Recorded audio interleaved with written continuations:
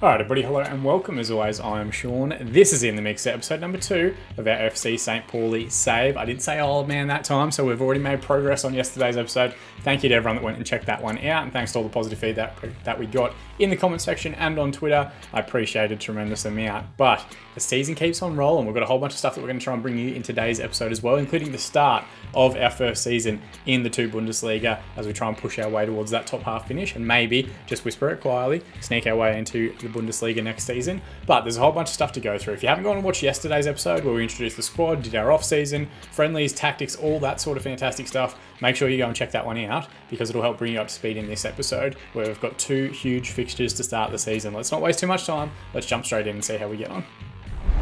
So first and foremost, as you guys can see here, we are currently not having played any games in the division, which is perfect for us. We did, of course, get knocked out of the DFB Pokal in yesterday's episode. If you didn't go and check that one out, spoilers. A bit disappointing, I'm going to be completely honest, to lose to a semi-professional side, but you know, it's a long progression. We've deliberately put together a squad that is relatively young. Uh, our oldest starter in that game was 20 years of age. We do have some big players still to come back into the squad and into the lineup as well. And we've got some people joining us in January that I think are going to help us out quite a bit. Having said that, we are going to make a couple of tactical tweaks. One of the things that I don't think we did particularly effective in that game is really kind of fill certain spaces the way that we need to. So we're going to make a couple of adjustments.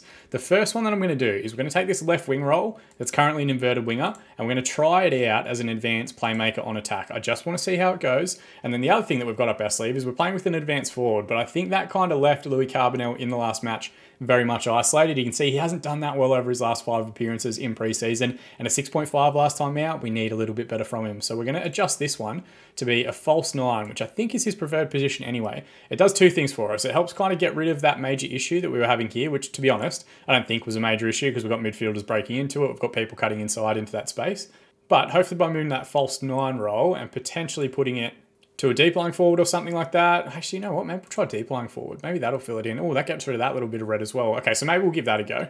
You can see most of the traits that he's got for that role aren't too bad. So we might give that a whirl, see how it goes. The other thing that I want to change, this is more of a group tactical instructions. We're going to get rid of this shorter passing one. We're just going to drop to slightly more direct a little bit to try and get ourselves a bit further forward, a bit quicker. Catch teams in transition a little bit more. I just want to see how it works out. We're very much in that early part of the game where I haven't quite figured out the match engine just yet, and I haven't quite figured out what player roles I prefer. So we're still working towards getting that expertise or getting that experience with the game where we do know what kind of things we need to change and adjust throughout it. But that's part of the journey. That's part of working out how this game works this particular season. And credit to Football Manager for freshening things up and getting some new concepts out there. Out of possession, in transition, we're going to leave all that stuff the same. I'm going to leave our, uh, our possession tactic pretty much exactly the same. We'll leave it as an advanced forward as well, just in case we need to adjust around. But those two tweaks hopefully get the best out of Daschner, hopefully get the best out of Carbonell, and we can maybe start finding the back of the net with a bit more regularity against some of the better sides in the division.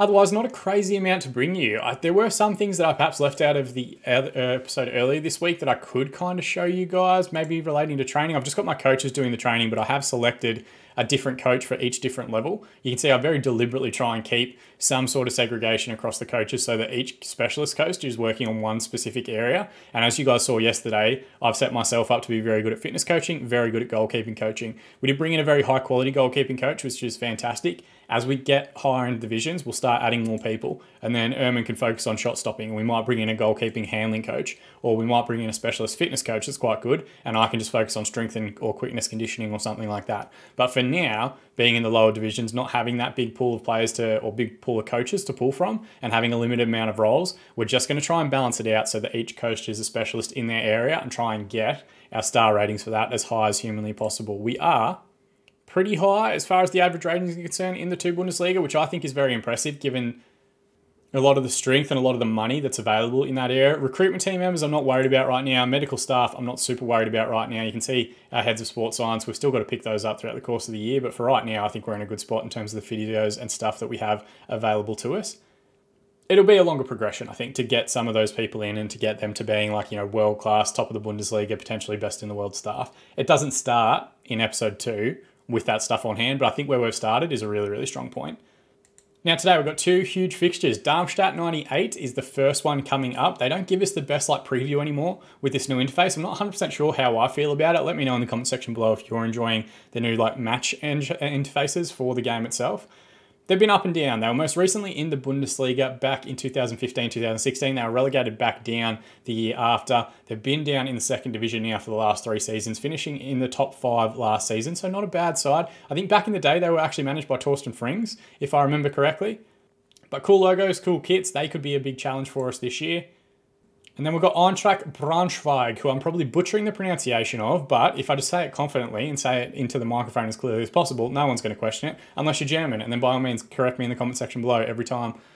They've had a rough run of it. They did actually get relegated into the three league a couple of seasons ago finished in 16th in their first year back down in that division, but then they've come up most recently, finishing in third spot in that division and back in the division this year. So hopefully they are one of kind of the weaker sides in the division and we can build up our confidence and get a good result in the build up. We are going to have a look at the season preview as well for the Bundesliga 2. We didn't look at it yesterday. The overwhelming favourites are Hannover 96 with $1.73 odds. Hamburger, $3.25 or €3 Euro 25, I guess it is. Fortuna Dusseldorf, who just came down from the higher division, they are at $4.33, as are VfL Bochum, who've been in the Bundesliga a few times throughout the course of the season. We're down in 18th spot, which I should be more concerned about, but I'm not really. It's because we've sold players that had high reputation and we've brought back in young players that haven't yet built that reputation. I don't think our quality is as bad as some of the other sides down towards this position in the division. We just have to finish top half. That's all we have to worry about. I'm sure those odds have potentially ballooned out as well because we also just got knocked out of the DFB Pokal by a non-professional side. So there's a bunch of different things that I think are contributing to that figure outside of the actual playing ability of the squad. Because if you look at it, it's not horrific. Most players are at two and a half or three stars. We will get quite a few of these young players as well, improving as the season continues. One other change I think we're going to make, just as I'm looking at it, Dion McGee is 20 now, so I think I'm going to go with Maury Bamba, who's 18, just because I think he's got more time to develop and be that higher ceiling player. But we'll see. We'll see how that one goes. Uh, still no Finn Becker. Hopefully he'll be back for the second game. Berke Dogan also out. He played for the under 20s today, which is absolutely fine. I've got that set up in our things, but really we want to try and turn our form around a little bit, get a good result, and get a good performance. Tactical meetings, this stuff's all new. They tell me every single time that I need to be going like defensive or whatever else. I'm just going to listen to the opposition instructions. I really want to try and get into a good rhythm and into a good tactic, regardless of what the uh, assistants and stuff might think. There's a few players here who aren't 100% familiar or 100% up to date with the tactic just yet. That's fine, that will come with time, and we will get this bar right up towards the top by the end of the season.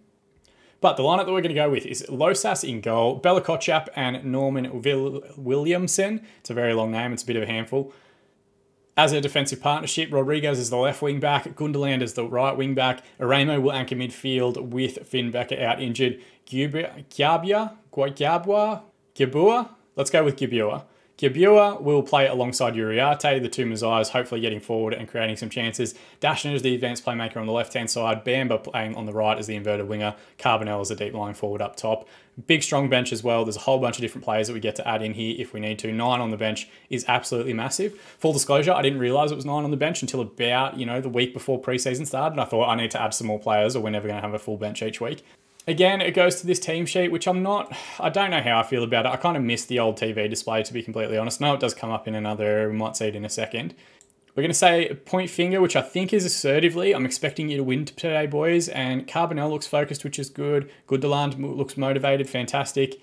Probably need a little bit more. Preparation is everything in these days, and you may feel you know what to expect from Darmstadt 98. They're a team that has potential to make it up. Let's just go with that. How are things between you? I don't know him. I have no idea who that is. None at all. So this is where you see that screen and it doesn't really hover on it enough for me to go through their lineup and through their team, which is a bit frustrating as it disappears into nothing. Looks like they're playing a very similar 4-3-3 to what we are, which is good to see. Our team looks fantastic, got all these fantastic little uh, kit and face packs here, which is fantastic to see. But again, it flies by so quickly. There's nothing we can do to talk about it. And of course, it's the first day of the season, so why would any of this stuff matter as far as the league table is concerned? Both sides come out. I like that little touch. I like this little warm up touch and whatever else, but I just missed that one display at the start. Now, shout out to a couple of people who did let me know if we minimize this portion, we can actually get more stuff on the table or on the field, which I think is fantastic. First highlight of the match, though, Uriarte towards back stick. Williamson was in there. Good header over the crossbar. Keeper was right there, though. I think he just watched it over. And there's an immediate goal kick here. Long ball forward to the right hand side. Rodriguez with the header forward. Over to Beta, the right back. It as well to close him down. Good triangle there in midfield, finds Skarke, and now the overlapping fullback. Reverse pass to Skarke, has gotten goal side and found the finish. We might be struggling this year. I might not make it through to January. This might be the quickest like beta save. I know we're out of the beta, but beta save I've ever done because if this continues, I will probably get sacked at one point or another, which is a damn shame. But it's a good overlapping run, and Daschner just doesn't go with him. Skarke with a good finish, it must be said. Losas can't get across to it. It's low and hard across him, and he peels off towards the corner flag, giving it these ones, which just see like we're not that aggressive a team. It's day one, mate. Calm down. Throwing again, I haven't been able to change these bloody graphs on the background thing because highlights are coming thick and fast. Gunderland sends it down the line for Carbonell. He's dropped into a good little pocket of space. Just need him to drag some defenders away now. Bamba cuts inside, finds Daschner. Ball out wide to Rodriguez, who did very well in the first game, it must be said, overlapping. Can he find the cutback? It's cleared away. Gibua over to Aremu. Back to Gibua again. Just find the forward pass, boys. We're not in any rush. Now Uriarte. Aremu. Good switch to the overlapping fullback here. It's Gunderland on the other side. Ball in towards Daschner, and the header wasn't far wide. Keeper was scrambling, but it just goes beyond the near post. All right, now I might be able to finally do that. Darmstadt stats. Let's get their body language up to match ours. Let's go with latest scores in the Bundesliga 2. Let's also try and get the league table up as well. And just as I've done that, we've hit half time. I probably could have used a shout in that period but for whatever reason it hasn't worked. Now, the XG, I don't know much about XG other than it's kind of expected goals or it's the momentum of a match. I think each of these jumps is like a chance that we've had up to creating an opportunity to try and find a winning goal. So we are ahead in the XG stakes, as we know from yesterday's episode or from the episode earlier this week. That doesn't matter for shit because they are winning at the moment, and that is the most important stat. So we're not going to focus on that too much. Now, I did throw water bottle yesterday and it didn't quite work. I'm just going to go with point finger assertively. I'm going to say I expect to see a much better showing from you in the second half, and everybody seems motivated, which is fantastic to see. Tactically, are there any tweaks that we want to make? Carbonell's playing a little bit better, but again, Daschner not playing particularly well, so we might revert back to the previous structure, and let's see if we can't get to something a little bit more familiar and hopefully create a few additional chances. We will start that second half. We'll give it 15 minutes, and then we're going to have a look at some subs, some changes. Wish I could get rid of this, the dugout bit, or just make these smaller or something like that so that I could display the information a little bit differently. The other part that we're missing now is I can't make shouts unless I hit that button. But we are through the hour mark, so we're going to make some changes. So tactics and subs. Sorted by match rating. Bam has struggled, which probably didn't make the right decision. So we're going to bring on Dion McGee for him. Looks like Losa is struggling again, second match in a row. Uriarte not playing particularly well. Patrick the Finger will come on to make his debut in the centre of the park. I'm going to hold off on that last sub. I'm not going to change out my keeper. I think that would be a bit harsh. And I don't think I've got anyone on the bench to bring on for Dash now. I do have Labongo and Bongo, but let's hold off on that one. And then let's also pop this back up and we're going to use a shout. We're going to demand more and just see how that works. I'm going to hit play again. This is, see, this is what I mean. Like the interface is just, I don't like it. It was so much easier with the drop down menu to do shouts during the course of a game. And now it feels like it's this big bloody difficult thing. And we're already through the 80th minute, so they are just running away with the game at the moment. Let's switch to possession. Let's just drop our intensity a little bit, maybe invite a bit more pressure onto us. And if this doesn't work, potentially we have to look at a tactical rethink or a tactical restructure. Daschner's going to come off. Labongu and Bongu will come on. We're going to give him a team talk and say, I've got faith in him. He seems motivated. Fantastic. He's got about 10 minutes to try and bail us out here. And then we might use one more shout for everybody else. Let's tell everyone to fire up, see what that one does. Most people seem fired up, which is fantastic. But we're into four minutes of additional time. These have been the most boring two first games I think we've ever seen. And I'll tell you what, the pressure must be on me because that's two back-to-back 1-0 defeats to start the series. Key performer, Rodriguez, who again played well in the first game. Gunderland also had a good game. Losas, I'm not sure how he played so poorly. He only conceded one goal, and even then I don't entirely blame him for it. Throw water bottle, far from pleased. Okay, if you seem motivated that time, so maybe that's something that's better off being used at the end of a match rather than during the course of a match to try and turn the tide.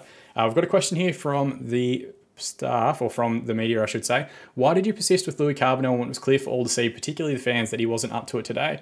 Uh, I haven't got time to get in this. Pick my team is my responsibility. I Didn't have the options on the bench. He was part of a team form, so that's the most important thing.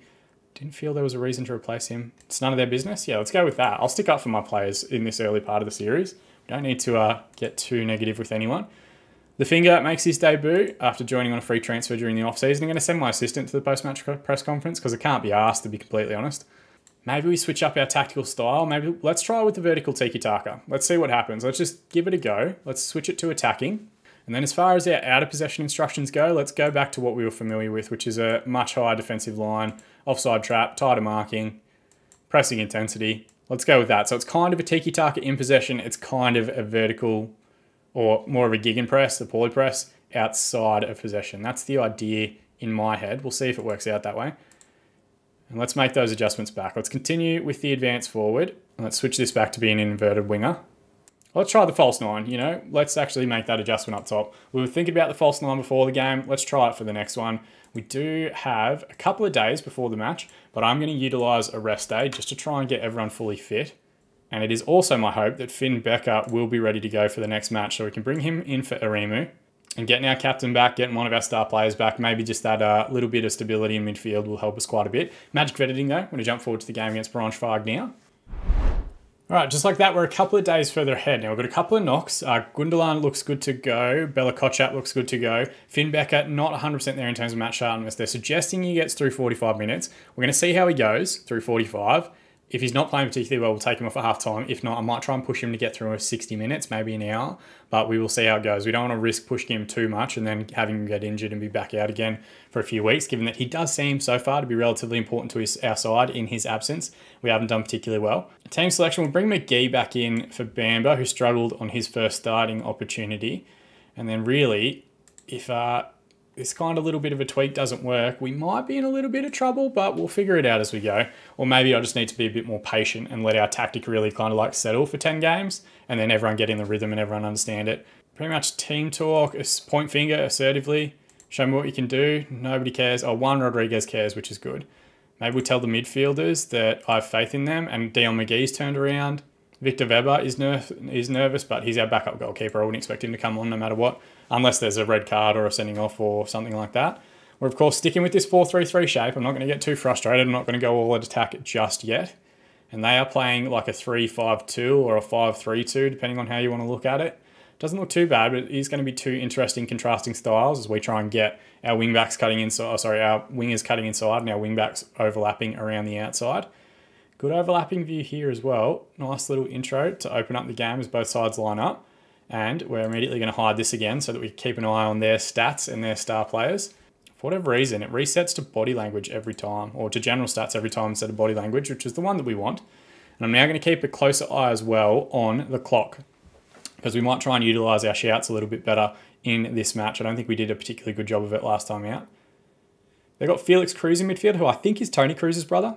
He is indeed Toni Kroos's brother, Felix. He's not a bad player either, not a great player by any stretch, nowhere near Toni's level, but decent enough. All right, we're going to hit pause there because we've got about 10 minutes remaining in the half. We're going to use a demand more shout or maybe fire up.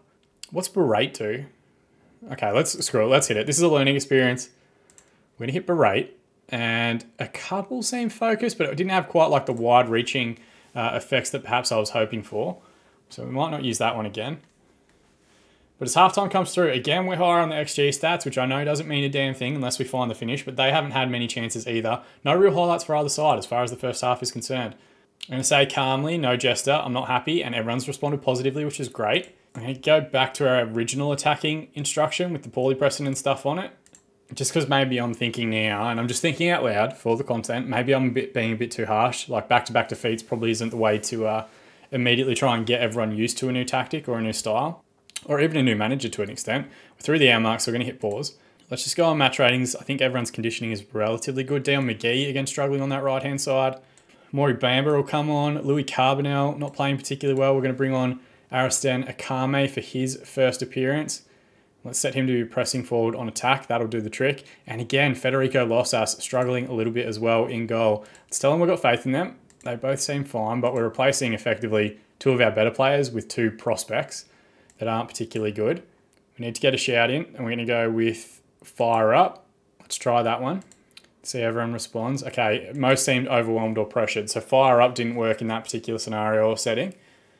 Here we go. First real highlight of the match. Gundogan with the throw in on the right hand side. Uriarte finds him again. Good little triangle there. Tries to cross it in and then it's cleared up the line for Braunschweig and they've gotten goal side. Kobylański straight at the goal. Losas pushes it away and Bella Kotchap does very well covering for him, scrambling it away for the throw in. We're inside the last 10 minutes. We've got one more sub up our sleeve. Let's make it now. Losas again struggling, but Gibbs is going to be the guy to come off. We'll bring on Aremu a little bit further forward. Tell him we've got faith in him. And then I think we also need to use one more shout. It takes me way too many clicks to do this at the moment. We're just going to go demand more, entire team, and let's hit play. So let's just leave this little bar up because this is uh, this is not great. I'm not going to lie. This interface is uh, not the best in terms of being able to see everything that's going on. And now we've had a draw. So, so far, I mean, we've got our first point. Maybe we just focus on the positive and say we've got our first point. Again, the defensive line didn't do too badly and they didn't really create anything at all. Our XG was much better than theirs, but still not fantastic. 0.51. I'm not sure what that means or how to read it. If someone can explain to me, like, is it just out of, is 1.0 the entire thing, or can both sides get like 1.5 or whatever else? Seven shots, three on target, 55% possession for St. Pauli, three shots, two on target, 45% for Braunschweig. Unlucky boys, let's go with that and let's just try. There's a few that seem motivated, which is good. I don't really want to lose the dressing room this early in a save or this early in a series. Does see us get out of the relegation spots, thankfully, with that singular point and negative one goal difference. So hopefully we can get ourselves back up towards the top half spots. And I guess that that is also the good point. Like we're not expected to be challenging for titles, so that pressure isn't going to be as high as potentially it would be in other areas. Club Vision, I'm getting a C grade, so that's not the worst in the world either. They're disappointed by our performance in the DFB Pokal, that's fine. Disappointed in some of our outbound deals, but they're happy with a lot of the other stuff that we've done at the same time. So it's not panic stations. It's not a disaster area just yet. We're going to put that poorly pressing back in place. We're going to also, I think, do this one. But let's try this pressing forward roll. Let's see how it goes. I know I'm not giving stuff time and I'm not allowing anything to breathe, but maybe what we'll do is off screen now, we'll jump forward a little bit so that we can give some of these roles time, we can give some of these players time to get settled and to get used to being in the lineup. We will have to adjust training for that. So let's get these guys working towards being pressing forwards. I think that will help us quite a bit. Everybody throughout the course of preseason and this early part of the season just working on their preferred player roles. We will, in the next few weeks, do an episode where we go through and start picking particular focuses and particular traits for different players that we think have areas to improve. But for right now, want to get everyone's match conditioning right up to the top. Want to get sharpness right up to the top. Want to get a starting 11 that has, you know, like consistently played together, starts building those relationships. That's really what we want to see.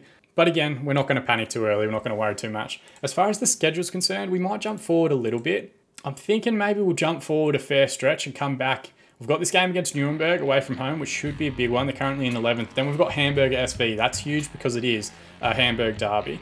And it does mean that we're going to hit 10 games in the Bundesliga and then come back and show you guys where we're up to. So by all means, yeah, let me know in the comment section below. If you guys have got tactics that are working, if there's anything massive about this tactic or the possession-based tactic that you guys can see that's like, oh no, that doesn't work this year, or that looks shit, or change this, by all means, let me know down in the comment section below. I will change and adjust based on your feedback. More than anything though guys, I just appreciate you all watching. That's the part that means the most to me. If you want to help support the channel that little bit more, celebrate the start of the new series, you can drop a like on this video, gets us higher in YouTube search results when people look for Football Manager content. You can also subscribe to the channel to be kept up to date on all of our future videos as they continue to release all the way through 2020 and into 2021 as well. But like I said at the start, more than anything, I just appreciate you guys watching. That's the part that means the most to me. I've been Sean, and I'll see you all again in the mixer.